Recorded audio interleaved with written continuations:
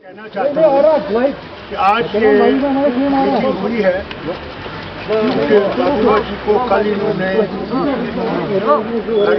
ये बंद थे चौदह महीने से इनको विभाग दिया है। इसलिए हम लोगों ने जो गुप्ता डिक्लेरेशन के लोग हमने यहाँ मीटिंग की है।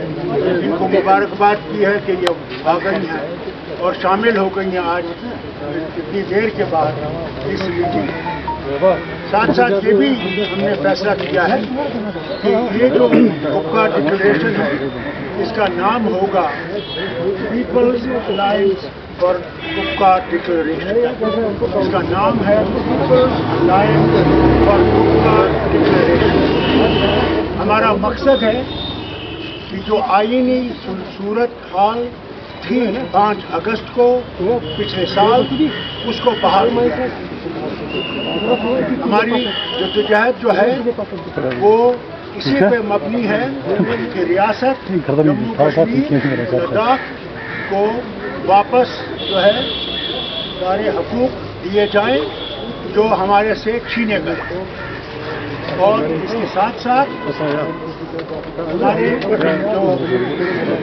सियासी मसला है वो जम्मू कश्मीर का अभी भी काबिल उसकी हल अभी नहीं हुआ, हल तलब है।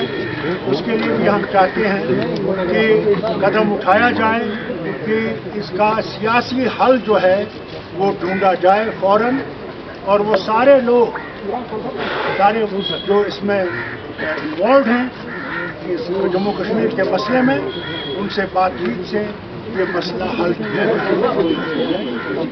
आज बाकी जो है, वो हम लोग फिर से मुलाकात करेंगे कुछ दिनों के बाद, जिसमें आगे के जो हमने कदम उठाने हैं, राय अमल जो है, वो हम आपके सामने लाएँगे। अब कई ऐसे ऐसे मीडिया है जो अंग्रेज़ी में चाहते हैं। We today met to congratulate and greet Mahbuba ji, who has been released from detention after 14 long months. It was a totally illegal, unjustified and unconstitutional uh, internment of detention of Mahbuba. And already those people who are still in the prison, we have demanded that they must be released immediately without any further delay.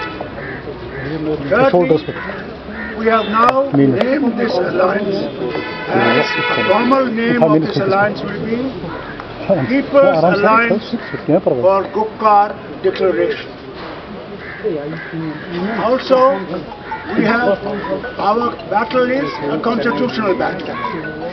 We want the government of India to return to the people of the state the rights they held before 5th of August 1990, 2019.